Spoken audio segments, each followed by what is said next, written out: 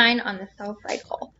So basically, cell division is super important in order for life to exist. Okay, have life being able to continue is based on the cell's ability to reproduce. So for unicellular organisms, this division is actually their form of reproduction. So a protist would divide into two um, daughter cells, and that would be how it would reproduce. For multicellular eukaryotic organisms, they test they have to um, they have a variety of different reasons why they need to go through cell division. Either um, initially for development purposes and growth um, and later for renewal repair and replacement of cells. If you get a cut on your hand your cells will go through cell division to replace um, all of those damaged cells. Just a couple uh, vocabulary terms to start us off. Please come back and reference these if you need to throughout the program. Um, for DNA, uh, one of the important terms is the genome. So this is all the DNA in the cell. Um, chromosomes are packaged condensed DNA. So down here I have a chromosome. It is um, that typical structure that you see. And basically, the way you want to think about it is that the DNA is all wound up. Okay, so here is a replicated chromosome right here. You can see that the DNA is all coiled. See all these coils? So it's very tightly condensed. Um, when you loosen up the DNA and kind of uncondense it a little bit, it's, it's what we call chromatin.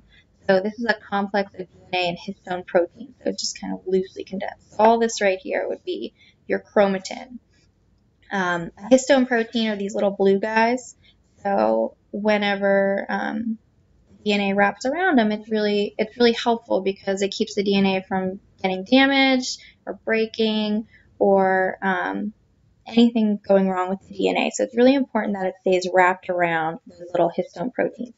A good way to think about it is like a spool of thread. So the DNA would be the thread and the histone protein would be the spool.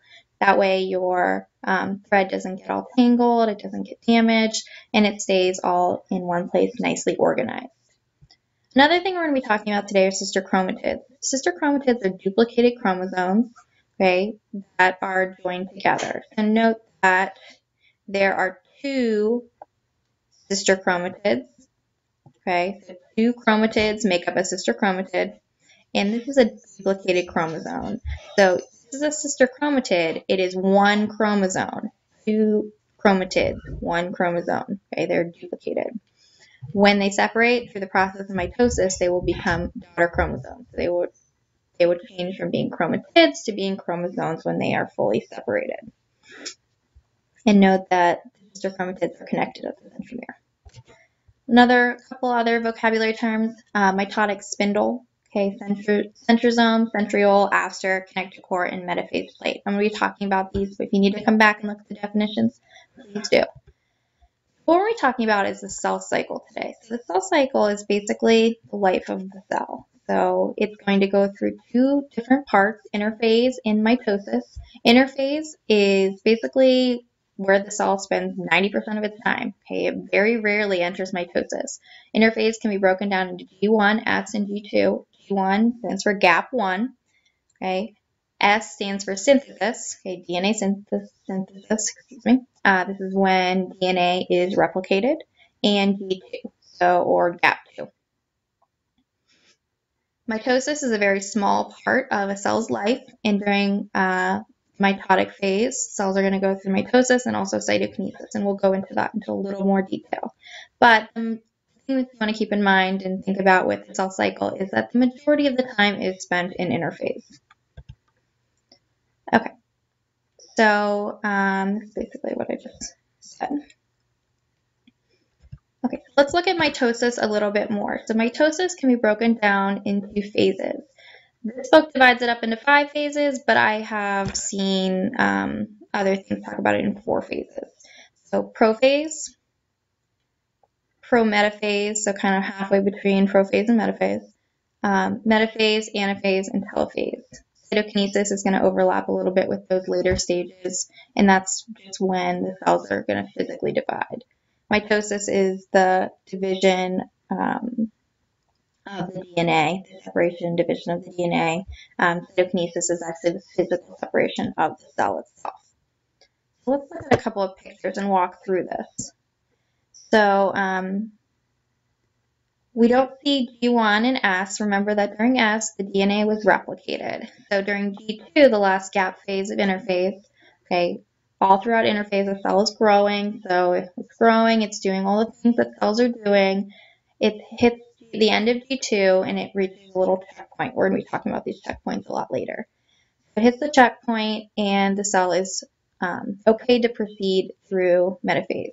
So just to make sure it's ready to go um, into um, the mitotic phase, the centrosomes, okay, with centrioles, they have to be replicated and ready to go. All the DNA has to be replicated as well. And then um, go through gap two, pass the checkpoint, and it can enter prophase.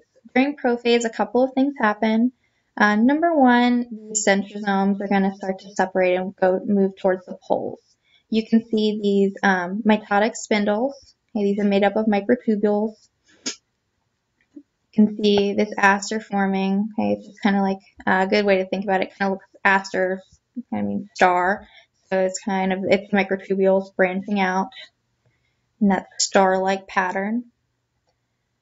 Uh, the uh, sister um, chromatids are going to be seen here. So remember that the DNA was replicated here when it condenses. So when you take all of that chromatin that uh, replicated that was um, replicated during S phase and you start to wrap it up during prophase, those um, sister chromatids are going to be visible.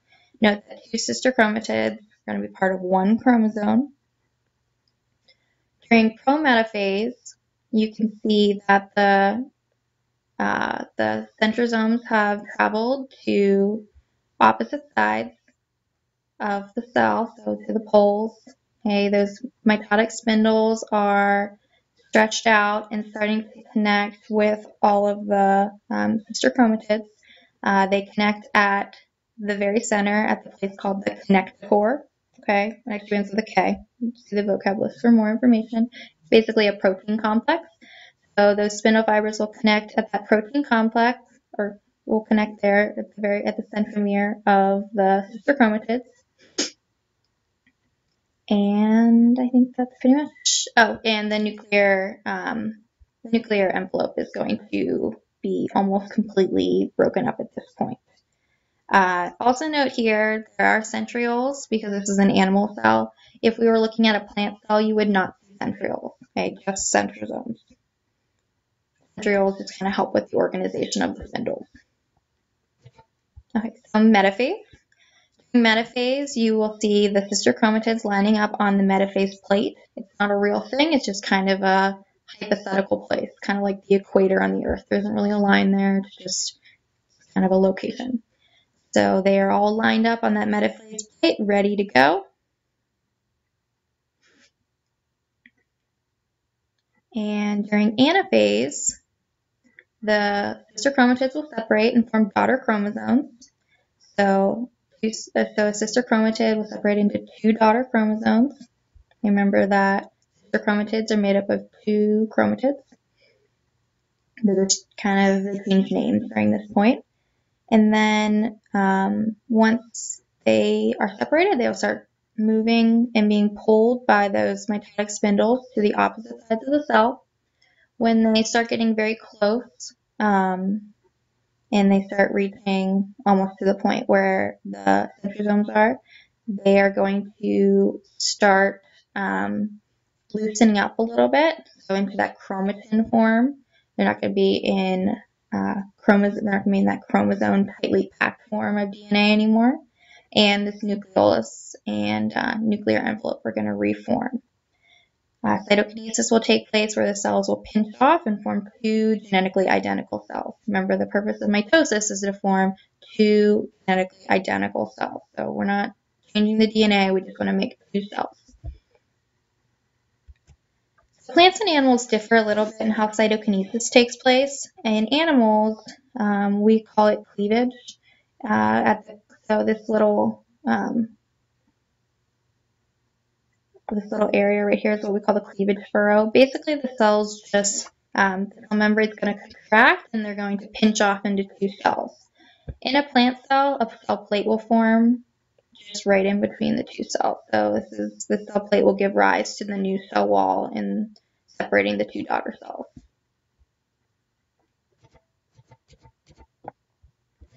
Okay.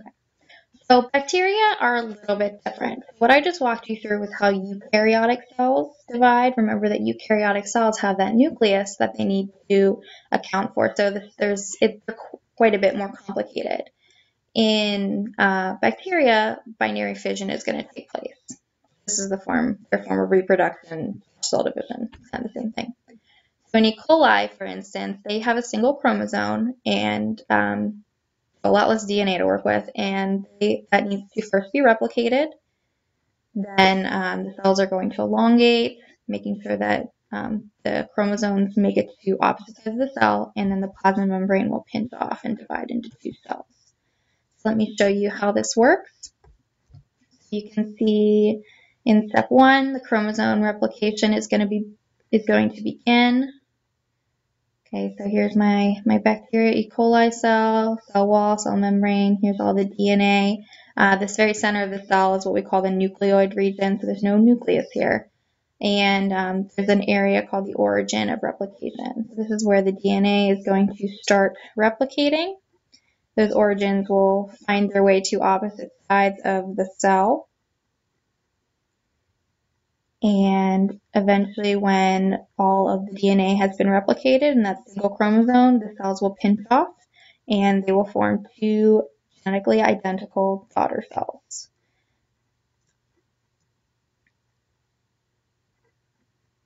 And this can take place very rapidly because bacteria are quite simple organisms.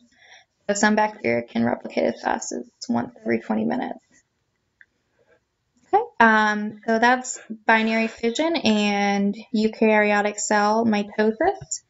Uh, to complete your lesson for today, you need to watch the mitosis video on Haiku. It's called it's the Bioflix mitosis video. Please bring any questions with you to class, and we are going to briefly review this topic and go through and talk about cancer and cell cycle regulation on in the next time we meet. Have a great night, girls.